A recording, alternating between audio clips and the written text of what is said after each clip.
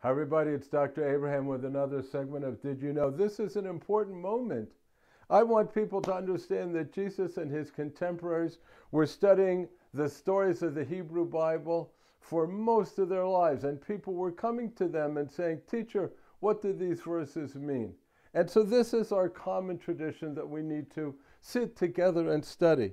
Uh, let me read you the first verse of the Bible from Genesis. When God began to create heaven and earth, the earth being unformed and void, etc., with darkness over the surface of the deep, God said, Let there be light. Can you imagine people reading this story and looking for meaning? Well, what does that mean that the earth was unformed and void? And why did God come at this moment, etc.? And this is what people should do come together, study the Word of God as brothers and sisters in spirituality.